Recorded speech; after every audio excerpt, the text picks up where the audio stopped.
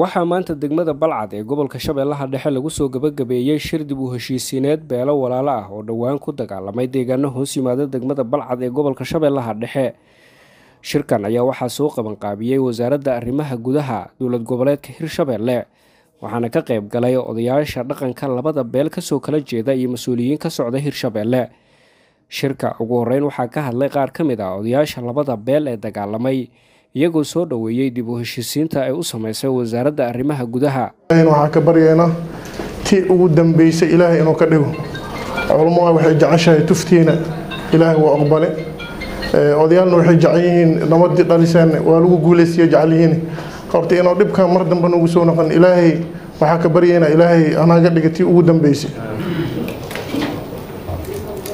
Alxamdulilah ilaaha mahad iskale oo inta nagu soo kulmiyey wadahadalka bacdigiisna lees fahmay. Rasuulkaani maxamed wuxuu yihi sal allahu alayh wasalam asabru diyaau sabarka waa shay cad. Ugaas maxamed weli ugaas xuseen ayaa akhriyey qodobada ka soo baxay shirkan. Qodobada ay ku heshiiyeen waxay kala yihiin namber kow in ay isku qirteen labada beelood dhiiggii hore iyo dhaawacyadii hore isugu geysteen.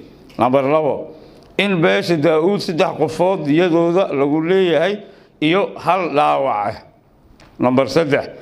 In sidoo kale beesha mobleen lagu leeyahay hal qof diyadiisa oo ay horay u dileen beesha daa-uud namber afar in dowladda hirshabeelle magacaawdo guddi xaqiiqo raadin ah oo isugu jira heer degmo iyo heer gobol kuwaasoo ka soo tala bixin doono soodinta lagu muransan yahay ee ka dhexaysa labada beelood ee walaalaha. Ah namber shan inaan la tacbi karin lana deegaansan karin dhulka lagu muransan yahay muddo sagaashan cisho ah taasoo wakhtiga ay dowlad goboleedka hirshabeelle u qabatay in ay ku kala bixiso muran dhuleedka ka dhexeeya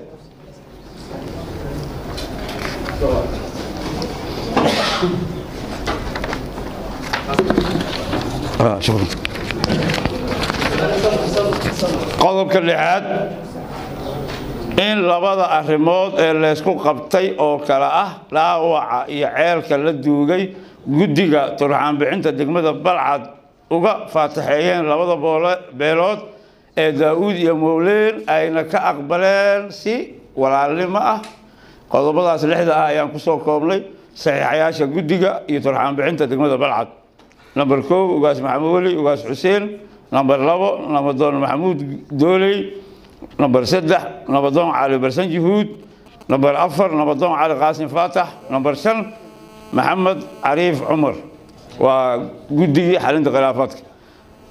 Saxiixyada odayaasha dhaqanka beesha mobleen oo ayadana afar afar xubnood labada beelood ay kaliyihiin beesha mobleen hadda ugu horeyso namber kow nabadoon jarnaale bariise raage namber labo nabadoon daa-uud baare cilmi namber saddex nabadoon yaxya xuseen qaasim namber afar nabadoon xasan geesey barow saxiixayaasha beesha daa-uud nabadoon xasan cali jimcaale nabadoon axmed xuseen cadow nabadoon xasan ow nuur maxamuud. Nabadoon cabduqaadir yalaani cismaan.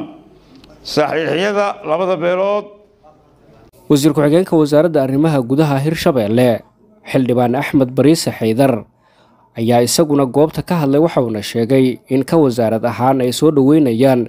Balcad keliya kuma koobno.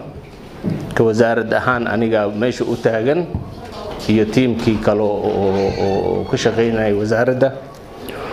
Waxaa kaloo oo jiro in ilaa iyo heer madaxweyne ay arinkan uu taagan yahay. Waana meel marin doonaa wixii labadan beelood oo walaalaha ah ay isku afgartaan ugu dambeyn guddoomiyaha degmada balcad ee gobolka shabeellaha dhexe oo shirkan soo xiray ayaa waxa uu sheegay in guul laga gaaray wadahadallada. Waxaan rajaynaynaa insha allahu inaan dadkii indhaha noo ahaa khayaartayna ahaa waa dadkaana wada hor fadhiyo. Waxaan ka rajaynaynaa insha allahu ayaga inay nala qaadi doonaan nala gaarsii doonaan tuulo nala gaarsii doonaan deegaan nala gaarsii doonaan guri. Insha allahu intaasaan rajaynaynaa. Waxaan rabaa inaan munaasabadan ugu faa'iidaysto. Hal arrin oo maalmahan ku soo naqnaqatay deegaankan dowlad goboleedka hirshabeelle waa barnaamijka la yidhaahdo isbaaro. Isbaarada waxay xubin ka tahay inay bulshada isku dhacdo.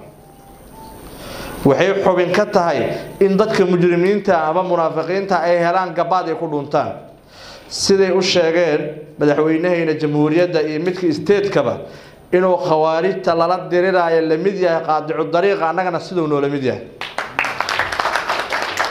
ka degma ahaan siduu noola mid yahay ka maamul ahaanna amarka waana soo gaaray.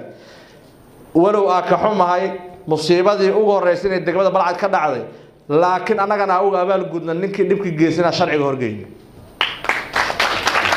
waxaan rabaa marka dadka baraha bulshada ku qoraya siyaasadda ka raadinaya ina hal ere idhaahdo balcad iyo xamar inta udhexaysa wax isbaaraa horena uma aalin haddana ma yaalaan balcad iyo jowhar isbaarooyinkiina waa qaadnay haddana waa lasii diriraynaa shariif suuriya xaashi warbaahinta shabeelle المنتخب الإسباني الكامبيون بليند على القائم الثاني على طريقة فان باستين وهذه جول هذه خطيرة وهذه جول. دياغو دياغو كوستا هل هي لعنة سلفادور. شيء كبير شيء كبير السلسعو halkani waa istaadiyaha luseel ciyaaraha koobka qaramada kubadda cagta adduunka. Haddana goolkulaadka cayaartooyiga cabdilhani baa isu diyaarinaya. Oo la laagay fursadda ee soco ciyaaraha koobka adduunka ee dalka qatar internetka xawaaraha leh shirkadda samtel adigoo isticmaalaya hal eber laba samtel caalami